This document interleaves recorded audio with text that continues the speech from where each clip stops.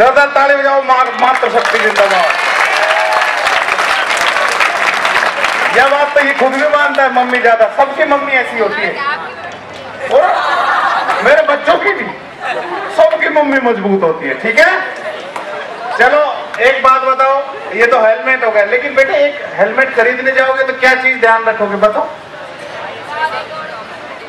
ISI किसी ने बोला था? बहुत अच्छा बोला बेटा ताली बजाओ इसके लिए। अच्छा हेलमेट आईएसआई के अलावा एक बीआईएस का नाम सुना है किसी ने? आईएसआई का ही नाम बदल के 1986 में बीआईएस कर दिया। बीआईएस करने के पीछे काम क्या था? कि बीआईएस करने के बाद नंबरिंग देने लगे जैसे ये प्रोडक्ट बनाया भारत ने तो एक नंबर मेरा चश्मा दो नंबर तो हेलमेट का नंबर कितने पाया? फोर वन फाइव वन कुछ भी बोल रहे। ठीक है। तो हेलमेट जब चेक करोगे, नया देखोगे तो क्या लिखा मिलेगा? Four one. तो अपने को ध्यान रखना है ना, फोर वन, फाइव वन का। ठीक है। हेलमेट समझ में आया? पीछे लिखा मिलेगा, इनबिल्ट होगा बी आई एस उस पर क्यू आर कोड होगा। और एक हेलमेट ऐसा होना चाहिए, पूरा कवर्ड होना चाहिए, गर्दन वगैरह। ऐसा नहीं जो शाहरुख खान साहब ने पहना था ना, दिल में मेरे दर्द डिस्को।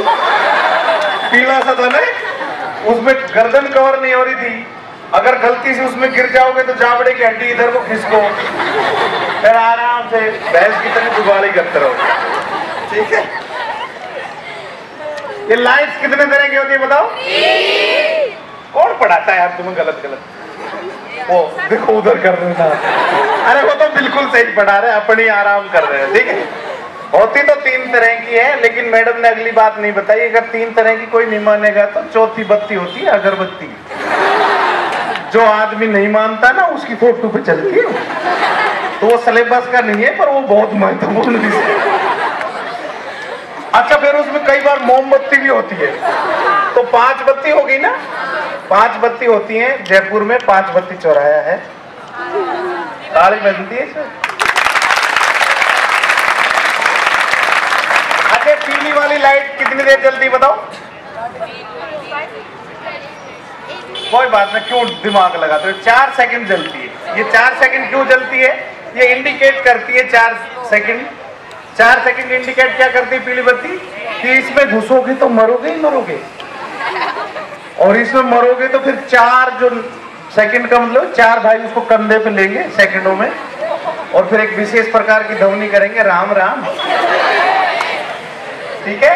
एक चार का फिगर और कहा काम आता है? हेलमेट कितनी एज में लगता है? चार साल में। चार साल का इतना सही बच्चा, इतना सही हेलमेट गोल करो, हेलमेट में धरो, स्कूटी खोलो। ऐसे मत कर देना। लाला का दम घुट जाएगा।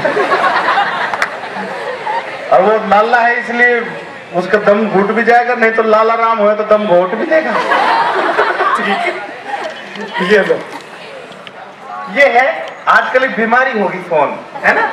मोबाइल का हर बंदा कायल लगता है। हाथ उठाओ तो मोबाइल लगता है। हर समय मोबाइल। बच्चा उठते ही सबसे पहले माँ बाप के चरण नहीं ढूंढता, वो ढूंढता है मोबाइल। मिल जाए तो बहुत अच्छी बात है, नहीं मिले तो उसकी हालत ये होगी, देखो ना। नहीं मिला।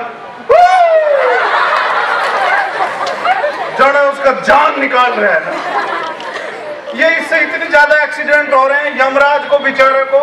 इसमें शामिल होना पड़ा मोबाइल ये मोबाइल से करेंगे बात तो यमराज जी से हो जाएगी। तो और यमराज से इतनी ज़्यादा मुलाकात हो रही डेढ़ डेढ़ लाख इंडिया में मर रहे हैं हर साल लोग। पता है? यमराज जी बेचारा सींग सांग लगाता है, इतनी देर में कपड़े पहनता है बनियान भी नहीं पहने इससे पहले कॉल आ जाती महाराज जल्दी आओ नीचे तो वो क्या खुद नहीं आता तो भैंस को ही रवाना कर देता है फिर मेरी जैसी भैंस जा रही होती है लो कहाँ पड़ेगा अरे।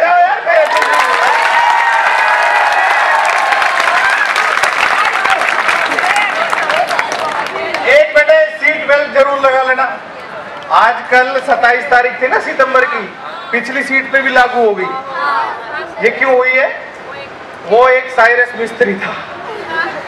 तो बड़ा आदमी मर जाता तो नियम बदल जाते। ठीक है? तो तुम बड़े नहीं हो, तुम्हारे से नियम भी नहीं बदलेंगे, काम के मरण में भी कोई फ़ायदा नहीं। तो सीट बेल्ट ज़रूरी है। इसमें सबसे बड़ी ज़रूरी क्यों है? कितनी भी महँगी गाड़ी ले लेना सीट बेल्ट नहीं हुई तो वो नहीं खुलेगा। क्या? एयर बैग एयर बैग नहीं खुलेगा तो तुम्हारे पास मेरे जैसी तोंद भी नहीं है। हमारा जैसा तो फिर भी नहीं कर देगा। लेकिन तोंद वोंद कुछ भी नहीं करेगा बेटा। अगर गाड़ी पलटा मारी ना तो तोंद वाला सबसे ज़्यादा पिटकता है। हाथ आ गया तो हाथ टूटेगा, गर्दन आ गई तो अगर नहीं तो उसमें सेट हो जाएगा, कितने भी पलटी मारो, बच जाएगा, ठीक है? तो हेलमेट ज़रूरी है ना सीट बेल्ट ये देखो, दारू पी के बहुत चलाते हैं लोग। जिसने एक को पकड़ लिया हमने, मैं कह क्यों पी? बोले सर आप ही तो कह रहे थे कोरोना में दोनों डोज लो। उसको मिसिल पीछे से पड़ी पड़ी थी कई दिनों से उसकी डोजों से। बोला, इसने बूस्टर डोज भी ले रखी है। समझ रहा तो जिसने पी शराब न नवरा जिंदगानी में हज़ारों बह गए बोतल के इस बंद पानी। ठीक है? तो मत करो इतनी मस्ती, ज़िंदगी नहीं है सस्ती। है ना? लेकिन एक बात बताऊँ, तूफ़ान में रहो, कश्ती में रहो। तूफ़ान में रहो, कश्ती में रहो, महँगी में रहो, सस्ती में रहो, पर जब भी रहो, मस्ती में रहो। और हो हो वालों, जिसकी मस्ती ज़िंदा है, उसकी हस्ती ज़िंदा है, वरना तो समझ लेना वो ज़बरदस्ती ज़िंदा है। और ज़बरदस्ती महाराज की। आपका जो स्त्री वाला चुटकला था, वो वाकई क्षत्रिय था। आप बच्चों में स्त्रियों की बातें करते शर्म आती है तो जैन साहब, वैसे बहुत इनका काम, सिर्फ़ पैसा है, पत्रकारिता और 600 जगह आपकी न्यूज़ लगाएँगे। तो फ़ोटो जो ये खींच रहे हैं ना, ध्यान से खिंचवाना कौन सी फ़ोटो अखबार में, चैनल पे आ जाए, है ना? जोरदार ताली बजाओ सर के लिए।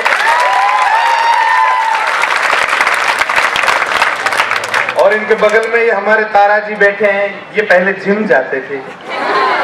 फिर बाद में जिमने जाने लगे। पहले इनके भी मसल थे। फिर धीरे धीरे कटल्स हो गए। है ना? फिर डोड़े गोड़े हो गए। कमर अब कमरा है। कितने सुंदर मुस्कुराते हैं और बोल, मीठा बोलते हैं, पता क्यों बोलते हैं, पता मूछों की वजह से। कुछ भी बोलते हैं, आवाज़ छड़ छड़ के बाहर आती है। जोरदार ताली बजाओ। और ये वांगचुक बांगड़ू भूटान से हमारे बीच में है। ठीक है? इनका नाम, ये जब तक नहीं बोले तो लोग इनको चाइनीज़ ही समझते हैं। फिर ये बोलते हैं ना, अरे कहा जाए पता चल गया झुंझुनू का है। तो जोरदार ताली प्रेम भाई के लिए बजाओ।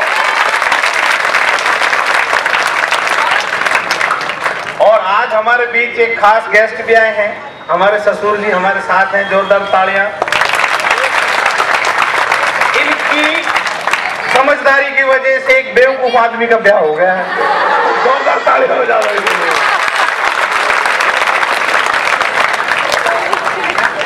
तो बेटे जब आपके पास माइक हो सकती हो तो पूरी प्रयोग कर लिया करो।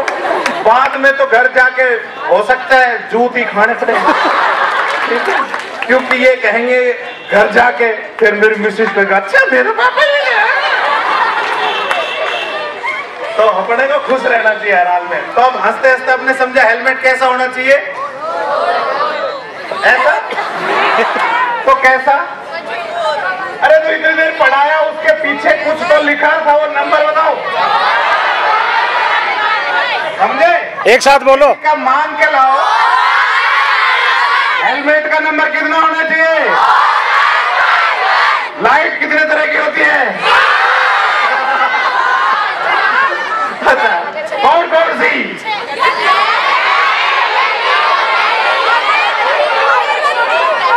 चलो ऐसी क्लास तुम्हारी आज तक नहीं हुई होगी।